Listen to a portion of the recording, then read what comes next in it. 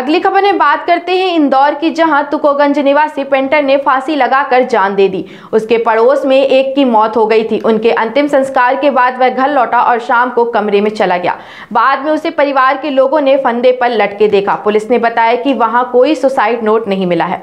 Police मामले में जाँच कर रही है। पुलिस के मुताबिक आकाश पुत्र रामसागर रेसवाल निवासी पंचम की फेल ने सोमवार शाम अपने घर में फांसी लगाकर जान दे दी। बताया जाता है कि आकाश दोपहर में गमी में था। वहाँ से लौटकर अपने कमरे में गया और फांसी लगा ली। कुछ देर बाद परिवार के लोगों ने उसे फंदे पर लटके देखा। परिवार का कहना है कि वह दो बहनों का इकलौता भाई था। वह पेंटिंग का काम कर गुजारा करता था। दो साल पहले उसने लव मैरिज की थी। उसके पिता भी प्लम्बर का काम करते हैं। पुलिस के मुताबिक अभी आत्महत्या के कारणों का खुलासा नहीं हो पाया है। खजराना इलाके में रहने वाले एक कैटरिंग कर्मचारी की करंट लगने से मौत हो गई। पुलिस ने मामले की जाँच शुरू की है। पुलिस के मुताबिक घटना रामकृष्ण बाग की है। यहाँ कैलाश पुत्र सरला किराए से रहता है।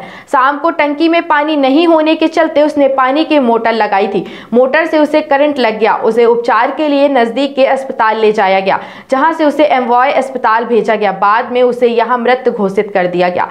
कैलाश कैटरिंग का काम करता था। फ़िलहाल पुलिस मामले में जाँच कर रही है। राजवाटिका विवाह घर सर्व सुविधा युक्त प्राकृतिक सुंदरता से ओत प्रोत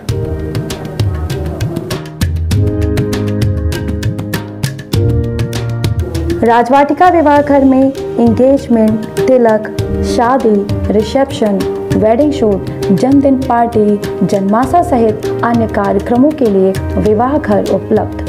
अपने मांगलिक कार्यक्रमों को यादगार बनाएँ शहर के मध्य वातानुकूलित राजवाटिका मैरिज गार्डन के साथ। हमारा पता है, Rajvatika marriage garden, national highway Jula मोड़, भुंडहा, रीवा। अधिक जानकारी के लिए संपर्क करें nine eight two seven zero zero four two five one.